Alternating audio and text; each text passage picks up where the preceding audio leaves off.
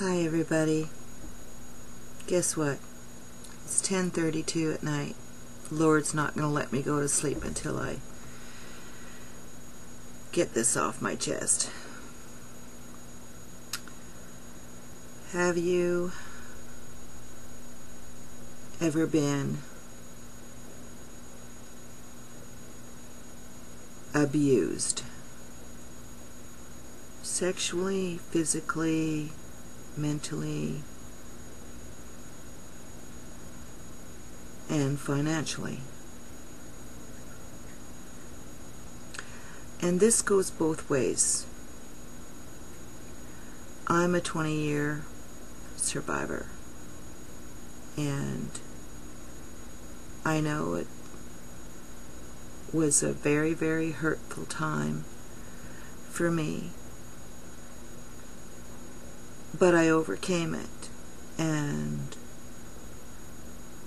through my walk with the Lord, He has allowed me to write about it and reflect back and to try to help others that are going through these through this kind of a life that really it's not your fault.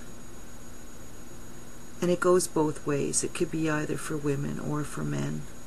I know that there's women out there that abuse their husbands and there's but generally it's the man that's doing the the abuse. Well, I'm here to try to describe to you, give you some symptoms of how all of this comes about. You know, you could be in a relationship, a really, really, really good relationship, and then all of a sudden, something happens. He goes and leaves you for another woman or another man, whatever. And you end up in a relationship on a rebound because you didn't give yourself enough time. And you need to give yourself if you if you end up in a situation like that, you need to give yourself at least two years before you get involved with anybody else. Get well, you can get involved with them, but don't go and live with them. Don't have their any of their children. Just date and get to know them as a friend. Then, because if you go in in a relationship on a rebound, you really don't know that person. It happened to me. And, you know, everything was really, you know, sort of good. I knew there was something wrong with, with, with him from the very start.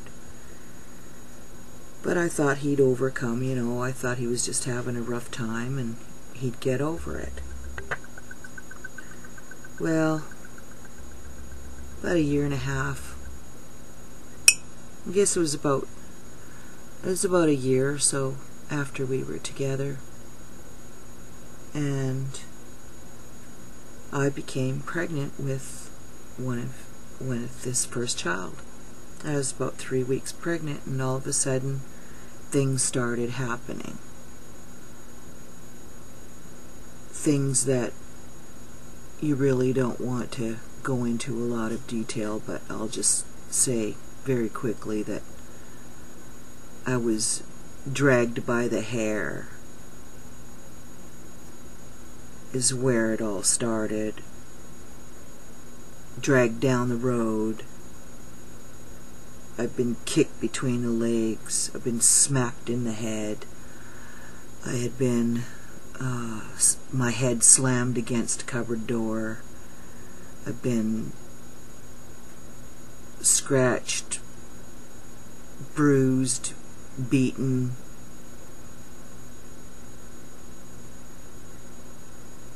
And in, in all of that time, I just want to, I'm just, that's all, black eyes, whatever. That's all I'm going to say about that. But I want, what I specifically want to say is how these things kind of start.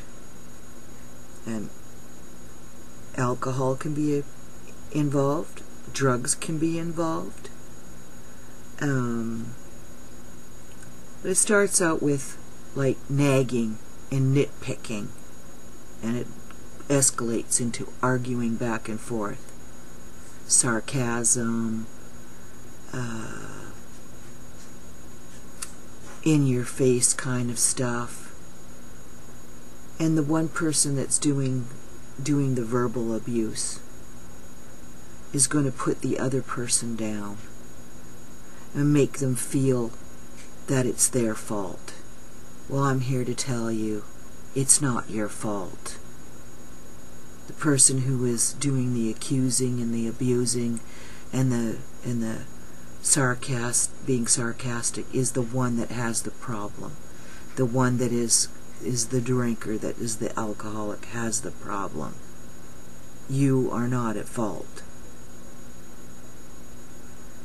Okay, so moving on goes through that stage and whether or not it's financial, he may or she may uh, prevent you from uh, having a certain amount of money, um, only enough to go and buy groceries, and some most of the time it's not enough. Not enough money to pay for the bills. Um, you're kept isolated. You're not allowed to have friends. And if you do have friends, then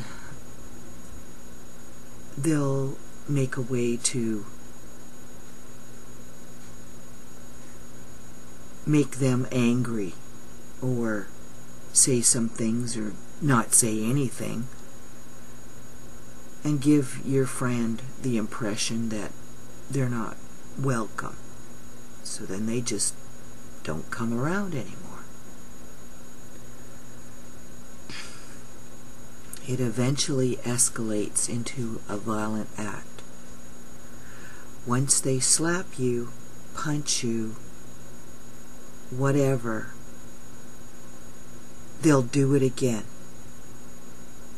Then, after that experience happens, then you go through a honeymoon period, is what they call it, where it's, oh, I'm sorry, I won't do it again.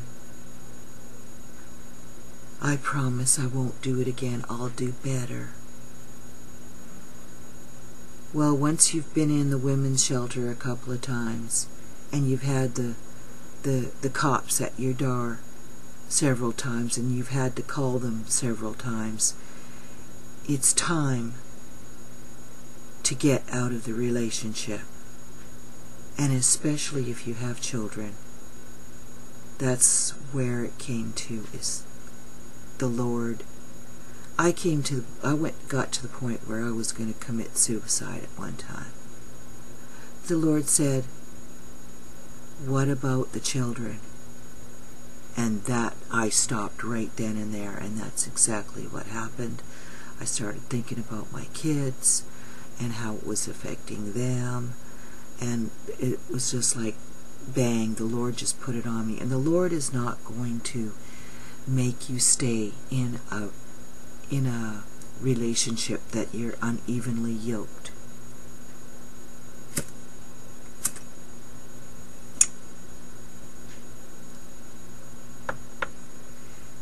He does not want his bride to suffer.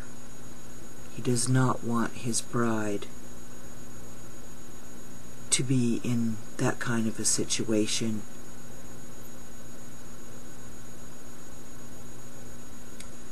He was a devil. I swear, when I looked into his eyes, I could see a devil in him. And it, he was uh, he did not believe that there was a God and so but I knew that God existed and I knew that I was being protected. So for all of you that are being abused in any way, shape, or form, if you've ever been hit, slapped, punched, whatever, don't let them tell you that it's your fault. If they don't want to go and have, uh, go in and get some help, no matter how much it hurts, don't go back to them. Get out of the relationship. Leave it. Move on. You can do it. I did it. I survived. And my walk with the Lord has grown mega bunches. And I talk to him every day. And he's just been awesome. I've always known that he was protecting me. I love you all. And if you, anybody having this kind of a, a problem, I have done writing on my testimony. I'm just doing this freelance right now. But I have some information. And I'm there I'm here to help if there's anybody out there that is suffering from the hurt and the confusion and the belittling and making you feel like you're worthless. I'm here to help. Call on the Lord Jesus. Make him Lord of your life. He will change you. And his Holy Spirit, the Holy Spirit, the Ruach HaKodesh, will fill you up. Read your Bible. Pray and talk to the Lord because He wants you as His bride, spotless and without wrinkle.